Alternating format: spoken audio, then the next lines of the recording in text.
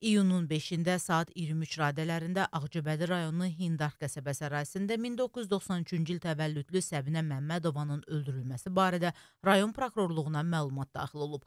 Ağcabədi rayon prokurorluğundan verilən xəbərə görə araşdırmalarla 1991-ci il təvəllüdlü Sadiq Kərimovun aralarında yaranmış mübahisə zamanı dəmir linclə xəsarətlər yetirərək bacısı Səbinə Məmmədovanı qəsdən öldürməsinə əsaslı şübhələr müəyyən edilib. Faktla bağlı rayon prokurorluğunda cinayət Cinayət Məcəlləsinin 120.1-ci qəsdən adam öldürmə maddəsi ilə cinayət işi başlanılıb. Sadiq Kərimov şübhəli şəxs qismində saxlanılıb. Hazırda istintaq davam edir.